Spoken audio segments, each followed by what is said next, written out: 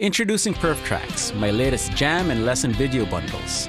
Available now at perfectodecastro.com slash perftracks. Check it out.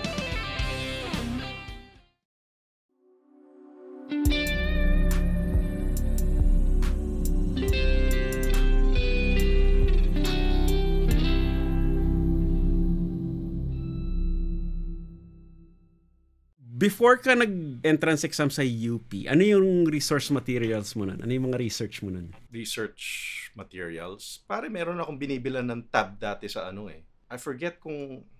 Actually, nakalimutan. ko. Sa may kubaw ata yun eh. Cra- Crush the Cherry o Fade to Black? Fade to black! Mismo.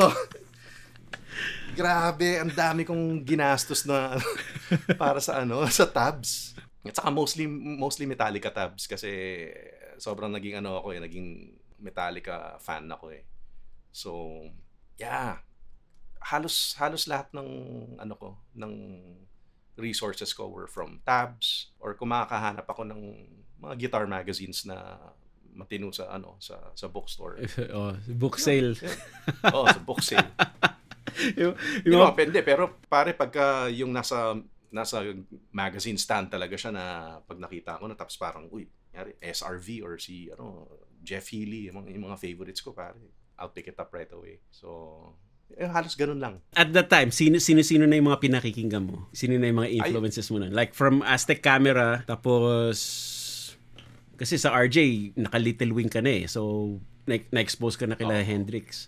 Oh, may Hendrix na, may ano din siya pare. Ah, actually pili-pili lang rin yung mga pinakinggan ko eh kasi hindi rin ako masyadong ah, matyaga mag-research. So whatever I can get my hands on or if I hear something tapos nagustuhan ko siya, then I'll I'll seek it out. Pero hindi ako masyado yung pagkakunentohan ako ng barkada ko. O pare napakinggan mo na to si ano, si ganyan, whatever artist. Parang hindi, hindi ko pa naririnig. Parang hindi ako naiinganyo na na i-seek out kasi wala lang, parang tamad lang ako. tamad lang ako na tao. But yeah, I mean, I remember nagpupunta pa ako sa ano dati, sa Makati Cinema Square para magpagawa ng mga cassette ng album ni Oh. Stevie Ray Vaughan. sa, sa basement. Ah, sa basement pare. Kasi yun lang yung sources ko for ano eh. To, for, kasi talagang sobrang I got into him eh. Yun, marami akong pinagawa ng mga cassette doon sa ano sa for, for SRV, mga listening ko. Jeff Healy pare, gustong gusto ko. Oh, Jeff Healy. Ah. Hype yun. Iba yung ano niya eh, iba yung feel ng tipa niya, yung talagang very ano, very emotional yung yung yung, yung tipa niya which is which is great no I, I love it May, nung lumipat ako dito, may sinalihan akong website, tawag cyberjamming.com. Isa sa mga members yung best friend ni Jeff Healy sa Toronto. Okay. So si Jeff Healy hindi lang blues. Yung banda niya, right before he died, parang jive na jazz na Yes. na swing Ah, yung yung tinutugtog niya. recently ko na lang din na discover yung mga yan pare I mean thanks to the internet di ba parang Oh, galing. Pero weird, ang weird din kasi yung first punta ko sa NAM, meron din ako nakitang actually magkapatid pa sila eh. Pareho silang bulag. Parang mala, mala Jeff Healy. Ganon din sila maggitara. Ano, alam mo yun, nag, nagjo-duet sila, tapos ganon din maggitara, tapos, tapos hataw din. hindi, hindi, ko, Ah. hindi ko maintindihan. Country pa nga yung tinutugtog eh. Kasi yung country na tuloy-tuloy na, na gano'n, no? tapos, tapos Ah, bulag. Weird. Ang, naalala ko lang si Jeff Healy, pero hindi ko alam kung typical ty- typical sa blind uh, blind guitar players yung ganun, to, to ganun- learn it that way Oo, no? Ah. Parang, parang interesting din. Kasi hindi Oo. lang, tas bukod nung nakakita pa ako, ganun din. Mm. Sh- shred naman, shred naman yung isa. Hanep Galing. Oo, pare. Ibang klase nga yung mga ganung mga players eh. Kasi parang, I guess, from the beginning pa lang, may talent na talaga sila, no? So parang, na, not, not, nataon binigay sa kanila yung gitara. Tapos, they just did what they could with it. Yeah, na doon doon nila nahanap. Kung kumbaga, kung ano yung naririnig nila, eh, talagang Oo. well, wala silang choice kundi kapain talaga. kapain talaga. Galing. Ngayon, uh, na-mention mo kanina si Louie. Kabatch mo ba siya sa high school? Kasama mo siya nung high school or Naging kabatch ko siya sa high school. Tapos, ah, ako, nag, nung nag, nag-decide ako na magma-masters pa ako sa high school, medyo nauna na siya. so, by the time na nung, ano, pag-graduate na na akong high school, ah, I think nakas, he was part of, ano na nun eh, Razorback. Mm, okay. Tapos yun, madalas ko rin sila panoorin nun dati sa sa kalye, sa ano. Sa Makati. Makati, oh. May mga ibang kasabay ka pa nung high school na nagbanda rin. Um, not that I'm aware of. Parang wala akong masyadong maisip na ano na kasabay ko in high school na ano parang who took this path. Mm.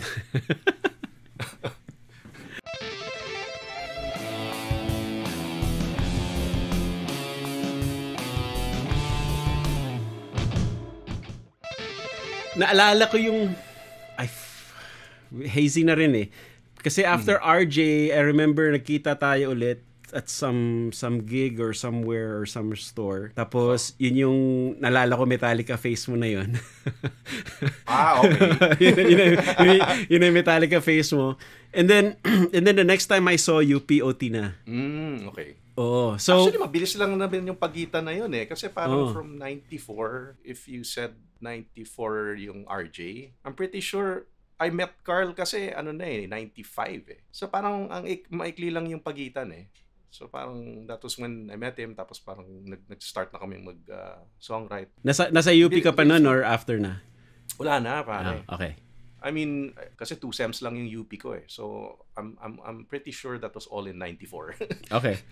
Okay. Oo. So, almost sure na it was during that time na parang ang dami na nag-shift para sa buhay ko. Oh, kasi ngayon nung no, tas yung paglabas ng POT, biglang alam mo yun, biglang well, like I, I can hear the Metallica stuff, I can hear the Aztec camera stuff. Mm. Pero nagkaroon din ng nagkaroon din ng pero napasok din yung funk. right. So yun, when did that creep in? I think it was always there. Kasi parang ano naman siya eh. Yun naman lagi ang treatment ko sa ano eh, sa playing ko. Um, feeling ko nadampot ko rin yan from listening to yung stuff that my dad listened to. I mean, aside from the Ventures and yung Shadows, 60s type of music, no? Parang ang dami rin naman yung, ang dami ko rin listening growing up from uh, Stevie Wonder, Ah. mga mga Motown na mga songs. Okay. Ang dami pa eh, mga Commodores, mga ganyan pare. Ang daming pinapakinggan ng dad ko. Tapos growing up, you knew, I mean, I knew those songs. Alam, napakinggan ko siya and I like them. Pero hindi ko, never ko inisip na, ganda nun na, parang subukan ko matutunan sa gitara. Nung nagkasama kami ni Carl, ang dami kong iniisip na, paano ko ba, kasi gusto ata, ni- gusto ni Carl nun talagang four-piece lang kami. Which was kasi kagaling siyang Advent call, di ba? So parang ang dami-dami nila nun. So I think he just wanted it to be like a solid, ano lang, parang unit na less, less complications. So, yeah, hir- nahirapan ako nun kasi hindi ko fini-figure out ko kung paano ko pupunuin to. Kasi I wasn't that type of guitar player naman na parang dami kong mga chops, dami kong mga skills na alam gawin. Ano, parang mag-rhythm ako tapos parang may mag-lead-lead ka pa na ganyan. Parang, para sa ibang tao na yan, di ba?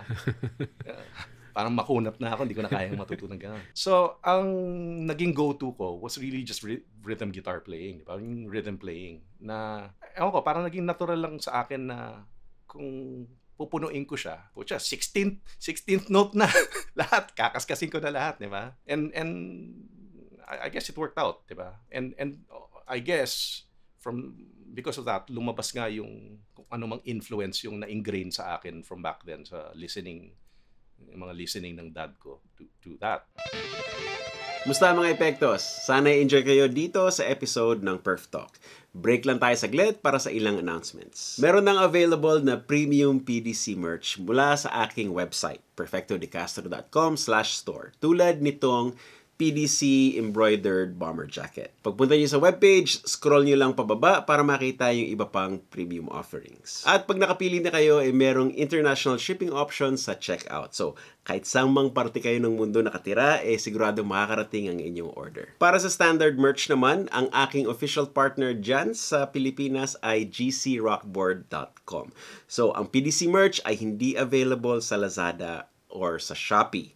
So, punta lang kayo sa gcrockboard.com slash PDC at doon kayo makakapili ng inyong standard PDC merch. At para sa mga naninirahan sa ibang bansa, pumunta lang kayo sa perfdecastro.myteespring.co. Siyempre, ilalagay ko yung mga links sa description. In-announce ko na to last month, pero ulitin ko na rin. Available na ang PDC edition ng Anatomy of Sound Picks dyan sa Pilipinas. I-message nyo lang ang AJ Guitar Setup or si Alfred Jan Garduque sa Facebook. Ngayon, meron akong mga natanggap na tanong kung bakit 700 pesos ang halaga ng guitar picks na to. eh, sagutin natin yung tanong na yan. Ngayon, ang mga standard guitar picks na tulad nito ay manipis at um, press cut lang siya. Okay? Tapos may siguro merong mga silk screen na graphics. Ang anatomy of sound picks ay 3D molded. Makikita nyo merong mga contours para mas madali siyang hawakan at hindi siya madaling mabitawan. Tapos may kapal yung pick para hindi siya madaling mapudpod. At kung mapudpod man, eh, pwede niyo siya uling hasain para mas matagal ang gamit. Ngayon, hindi lang isang pick ang makukuha niyo sa isang pakete. Tatlong pick na may iba't ibang feel. So, kapalit ng inyong 700 pesos ay tatlong specialty picks plus free delivery. so, saan ba kayo? Ang ibang specialty picks, eh, 700 pesos pa sa isang piraso lang. Ngayon, pag nakuha nyo ng inyong PDC merch, mapa t-shirt, mapa jacket, mapa pics, mapa bad 94, mapa mug, eh, padala nyo ako ng picture either sa aking Facebook or sa aking Instagram para ma-feature ko kayo sa aking future videos tulad ng ginawa ko sa mga kaibigan ko rito. Okay, yun na lang muna. Balik na tayo sa Perf Talk. Kasi when, when I was songwriting with Carl, when I first met him, parang ang dami ko na natutunan dun sa tao na yon kasi ano siya eh, he was always about break the rules. kasi ako, ano ako eh, yung mga kung ano man yung basic theory na tutunan ko sa UP, sa music, yun yung sinusubukan kong i-apply doon ngayon sa ano ko eh, songwriting ko eh. Diba? So, which was obviously hanggang diatonic scale lang. Parang kung ano yung theory na alam ko doon, which chords go with each other, and then which scale will go with that. Medyo limiting siya. But si Carl was the one who parang encouraged me na parang, hindi, ba't ka pumunta sa chord na yan? Ito, dito na lang, parang baguhin natin. Alam mo yon Which was, back then, parang linalabanan ng katawan ko kasi sabi ko, hindi eh, parang hindi siya pasok. yeah. Pero sa kanya, okay. Parang, okay yan, I can work with that. So, alam mo yon parang dati nag, may ginawa kaming kanta, nasa D minor yung key niya. So, okay siya. Sabi niya, gawin natin ang intro. Tapos sabi ko, sige, let's try to think of an intro. Then sabi niya, kanina, nung naglalaro-laro ka lang, may ginagawa ka eh. So, nagustuhan ko yon What if we make that the intro? Sabi ko, hindi pwede pare kasi nasa E minor siya. Tapos I was using, I was using the open E string. E D, e D minor yung song mo. Sabi niya, so what? Break the rules. Ano na, fi- fish cake? Ah, monkey on my back. Monkey on my back. Okay, okay. Oo, pare. Okay, monkey on my back. Weird. Sobrang weird nun. trying to think, trying to come up with that song back then. Yung intro niya nasa ano siya, E, e minor, di ba? Tapos biglang pagpasok na No, nung song proper nasa D minor siya, parang far out talaga. Ang Hindi, dami, pero- dami namang pero pasok, pasok naman. pasok naman siya. It grew on me Yeah, yeah. eventually. Yeah. Oo, di ba? So eventually, bringing in, bringing in all those influences na, na, na naririnig ko na in, in fact, pare, yung rhythm playing ko aside from if you want to think about yung 70s funk na, na, na narinig ko dati, I think influenced din siya in part by new wave eh. Like if you listen to a lot of rhythm guitar playing sa nung, nung 80s, ng mga yung mga The Cure pare, ang si Robert Smith ang galing mag-rhythm nun eh. Oo. Um, oh. Tsaka may mga syncopado rin yung mga rhythms nila eh. Yep. Oh, tsaka siya, tapos like The Cure, tatlong gitarista, kailangan hiwa-hiwalay sila ng ginagawa para maging distinct. Correct. Oh. Yeah. So yun, pare. And so so ang laking bagay na nakatulong yung na nakatulong yung the influences and then the fact that I was writing original music with somebody who was also egging me on to to be more adventurous with yung kung ano yung natural na predisposition ko to play just these specific chords. Yun, pare, doon doon nagmulat lahat ng ano. Nice. Ak- akala ko dati sa Monkey on My Back si Mali yung nag nagbigay ng E na yung E minor na section kasi bagay sa slap ng bass eh. And then si ano yun, galing galing sa aming dalawa ni Carl yun. okay. ano yun eh, uh, of, of course, no, yung yung sound ng POT won't won't be ano, won't be the way it is without yung influence ni Mali at saka ni Harley. Ibang ibang klase yung dalawa na yun. So, for us to have gotten together, parang ibang klase talaga yung ano na yun eh. Yung magic, parang may magic. Yeah, yeah, yeah. I mean, I remember, basta yung, yung unang labas yun eh. Parang gulat lahat eh. Gulat lahat na. Sa ano ba yan? Wow. Sa Music Museum. panay, ako, panay covers pa ata tinugtog namin nun. Ano? Oh, hindi. Tsaka yung paglabas ng album nyo, I mean, lahat, Ah, right. lahat parang, wow. Alam mo yan, kumbaga, bagong, ano ko, bagong, bagong stew, bagong, bagong, bagong dish ito, bagong putahe na kakaiba sa lahat ng that came before it, you know? Right, right. Yo, Right. Ang galing eh. Nung nagsimula kayo, kayong dalawa muna ni Carl. Yep. Okay. Kasi paano na siya, nang paalis na siya ng Advent call nun eh. So, nag, nag, nag, uh, he was asking around for, ano, for people to play with, um, to form a band. And, kasi nga kilala ko sila Louie, so kilala ko si Kevin, na who hooked me up with him. Na, so, so, yun. Yun ang connection namin, si Kevin. So, he hooked me up with Carl, and then si Carl was the one who sourced out si, ano, si Maddie and Harley, which was si- sila na siguro makakapagsabi ng kwento kung paano sila nahanap ni Carl. Okay. Pero ano yung magkakilala sa industriya? Ah, kakaiba rin yun eh, yung first meeting namin, naming apat, na nag, nag-jam kami. First time, prior to that kasi, yung mga nakasama ko was, of course, yung mga, yung banda ko dati sa, nag-Metallica covers, saka kung sino pang mga ibang mga ah, grupo na okay naman, magja-jam kayo and, and you try to figure songs out. Itong si Mali at saka si Harley, nung first time ko sila nakasama, parang alam na nila kung ano yung gagawin dun sa ginagawa ko Oh, nice. parang alam parang I mean there wasn't anything special about what I was doing eh. Parang I was just doing chords and it was just yung treatment ko lang of how I would play the chord. Pero nung narinig nila, parang alam nila kung paano nila or hindi sa alam nila, parang it was more of they responded it responded to it the way they did na parang pucha swak. so yun, patong ko na si Carl doon. That that was it. Ramdam mo yan the- from the, after the first jam? Yeah. Ramdam nyo lahat? Pa, oo, pare. Oo. So may ano pa kami nun, sa Albertos pa ata kami nag-record, nag, nag, nag-rehearsal nun. Galing pare, parang sobrang, sabi ko, ibang klase itong mga nahanap ni Carl. Nice. When you're ready for new pedal day, use discount code GCPerf10 at gcrockboard.com to get 10% off your entire order. You can use the code multiple times and there is no expiration date. Enjoy. How long after nun kayo pumasok sa recording studio for the album? Ah, 96. Parang a Day year after. Ang bilis pare, sobrang whirlwind talaga yung POT. Oo.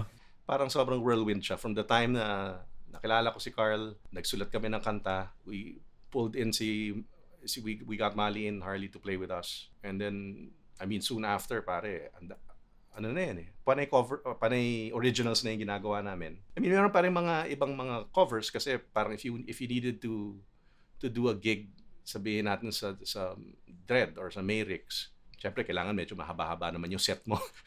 so, yun, nagdagdag kami ng mga few covers lang na ano lang din. Of course, we did we, we did it our way. Oh, nag, nagsabay pa tayo sa Habit nun, di ba? Baka. Yeah. oo.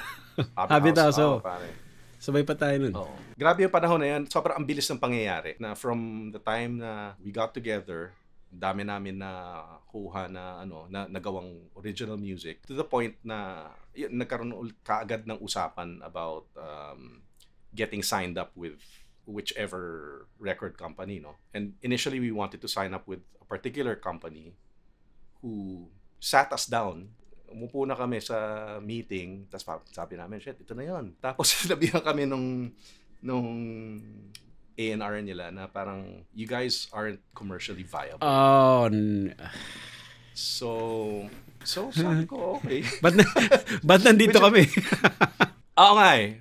Ewan ko, siguro parang they just wanted to talk to us siguro and figure out kung baka they could do something else with us siguro. Parang baka to figure out baka we might be open to ah, play something. I, I don't know, I don't know. I don't know talaga kung ano yung reason. Okay. Pero, pero all the events leading to that meeting kasi, parang feeling namin, gustong gusto kami. Pero by the time we got to the actual meeting, parang yun nga, sinabi nga na parang, uh, I don't think ano, you guys are commercially viable. so which was fine. Um, and then we ended up with a different uh, label, different company na nag-work out naman pare. I mean, yun, doon na namin na ano. Of course, yun doon sa company na yun, ganun pa rin. Bilib na bilib sa amin, pero may may ano, may prerequisite. Kailangan ka namin mag-cover ng kanta. Yeah. Which is, wow. So, syem- syempre, medyo ano kami doon. Hindi kami masyadong masaya about that. Di ba? Kasi we wanted it to be an all-original album. Pero kayo, kayo pumili nung cover. Yes, binigyan kami ng ng choices. And and mabuti naman pare. Ang galing si ano yun, si sa Poly East pare si Chito Ilagan. Pare mismo yun. He's, he's ano, kasi bahista rin yan, di ba? Um, musician din siya eh. So, he kind of knew where the music was ano rooted in. So, parang sabi It's niya, not drastically different from what you're doing. Correct. Or at least meron siyang same roots. Yeah. So, um, I think when he presented yung mga different choices, it was all from that medyo 70s talaga na ano eh, yung era niya eh. And one of them was obviously yung sa advisors nga. I guess we decided kasi maski na ako, I was listening to it, it had a horn section, may keys, punong-puno siya pare, tapos dami yung mga backup vocals. Tapos iniisip ko, shit, pa, paano ko i-breakdown to na ano lang into a three-piece band? Di ba? So, yun, bumalik na naman ako dun sa that whole rhythm. Basta rhythm lang, punuin mo na lang. And not to say na si Mar- Harley at saka si Mali, pare, grabe yung paano nila pinupuno yung tunog. So, parang maski na minsan kahit anong gawin ko, okay, okay yung tunog eh. Kasi sila yung nagba-backup. Ayun, pare. Um, Maganda maganda yung foundation mo. Mm, mismo pare. So, I, I mean, yun, yun lang yung naging ano namin sa sa album, yung naging what's the word I'm looking for? Um, Compromise. compromise, yeah. Yun yung naging compromise namin. So, Hindi, pero kundi naman eh. I mean, it's it it, it Hindi, worked out. yung It, naging ano, it worked out. yun yung pinakasikat. Nung nire-record niyo yung first album niyo, ano yung pakiramdam mo nung pag pinress na yung record? Kasi iba-ibang tao, iba-ibang iba-iba yung uh, experience eh. Like, oh, like yung iba nagfi-freeze, yung iba okay lang, walang pakialam. Alam mo, bro, yung nag-record kami ng album, sobrang excited ko. Sobrang excited ko na parang, kasi nga, di ba yung kinukwento na, pinag, pinag-usapan natin kanina na span of time na lumipas from the time na nag, nag-RJ Mm. tayo, tapos nag, kung ano-ano mga pinagagawa ko, tapos nagkaroon kagad ng, na, may nakasama akong banda, nagsulat kami ng sarili naming kanta. Tapos ngayon, oh shit, magre-recording na kami ng album. Parang sobrang excited ako. And sobrang prepared ako. Kasi nag-print out pa ako ng mga ano nun eh, yung mga parts ko. Whatever ano no, yung parang hindi naman siya tab pero parang chord guide lang para talagang sobrang on point ako na putya eh, kung ano yung rehearse natin before, ito na yon. Ito yung sequence, this is the arrangement. Tapos wala pare pagka nung prines na yung record pagbilang ano ano talaga. Kasi I think at that point sobrang hasaring kami kasi we'd been playing together for months already na parang sobrang tight na namin. And this was just you know, you're just recording songs that we knew how to play. Except except for a couple siguro, no. Yung yung yung cover song nga pare, ano yun eh, parang we had one song that we never played live. Tinutukan ko na talaga yung ano, yung at least on my end ah, with in terms of yung parts ko, pare to, todo o- ano ako noon. Kung nagre-rehearse kami sa studio, rehearsal studio, rehearse kami ng songs, pag uwi ko, putya, practicing ko pa ng lahat ng parts ko. Just, kasi parang nakafocus ako na parang ayokong, I wanted the recording to be super smooth na, kasi wala namang ex, ex, prior experience before that, di ba? And I always had it in my, my mind na when you get in a recording studio, you're only gonna record whatever it is that you're capable of doing, di ba? Parang hindi, hindi ka naman papasok doon. You'll record one snippet of a line, tapos parang cut, tapos, oh, sige, papasok ko na yung next, ha? Parang, di ba, dati, kung ano yung tinutugtog mo live, yun na yun, pare. So, I mean, definitely, hasang-hasa kami. Once nag-start yung recording, pretty ano naman siya, pretty smooth naman. Walang ano, wala nang kaba. Yeah. De, Wala tsaka si Arnold magaling magpa magpa-relax ng ng mga kliyente niya. Mm. Kumbaga hindi siya Actually. Tsaka gitarista rin yan eh. kumbaga kom- komportable ka pag siya yung pumipihit or pag siya yung nag nagbabantay ng session mo. right, right. Nice. Although wala pa, wala na akong ibang na, na experience na ano na engineer. I mean, yun na yun pare, yun na yung one-off recording stuff ko. And then of course, nung naging engineer na ako, I mean, ako naman yung nag re-record sa sarili ko or I record other people. Kung enjoy kayo dito sa video, pakibigyan lang ng thumbs up like, tirahin nyo na yung subscribe button, at huwag kalimutan bagtingin yung maliit na kampanilya. Pare, ang, ang pagkakaalam ko dati, pag, pag binabanggit yung pangalan ko, ang alam lang nila sa akin, ah, si Ian magaling magwawa yun. so, naman. nandun na nakakahon na ako, pare. It's either maalala nila ako from yung mga Metallica days. Galing nung pare kumakanta yun at saka ano, down pick lahat. Or, ang magaling magwawa yun. So, Hindi, ako, ako ang naalala ko sa'yo yung, syempre paglabas ng POT, yung pag pinakinggan ko yung buong album, yung yung chord voicings. Mm. Kasi yun na nga eh. Uh, actually, yun yung gumulat sa akin. Kasi before noon, ang alam ko yung, metal, yung Metallica stuff. Ah. so parang parang talagang Medyo oh, talagang opposite eh. San, saan naman galing yun? James Taylor! yeah, pare, isa pang, ano yan, ah, medyo hilig ko yun. James Taylor. Kasi sounds ka ng airpot ko eh. So, parang, narinig ko nung growing up. So, lahat na may mga ganong mga parang mga plucking na kung ano man. Yun, isa pa napulot ko sa conservatory yun, pare. It's plucking. how, how to how to use my Oh, fingers. kaila, kailangan yun. Oo nga eh. Ah, pero yun na yun. Yun, yun lang na natutunan ko doon. Oo, pare. Y- ah, yung isang kanta namin, ano yun eh, yung Piece of This. Parang yung chords nun, wala lang, nagtitrip lang ako tapos ini-imagine ko siya as something from a James Taylor song. Alam mo yun, yung parang ganun yung mga akorde niya. Tapos ito na, syempre, sinakyan na ni Mali at saka ni Harley. Nagbago yung feel niya. And then I, I also had to adjust certain things na parang, okay, if you're doing that, I can do this instead na using the same chords. So parang ano lang din, di ba? Nice. Bigayan talaga. Yeah, yeah. Hindi, y- y- y- yun yung maganda kasi parang organic living thing yung banda nyo eh.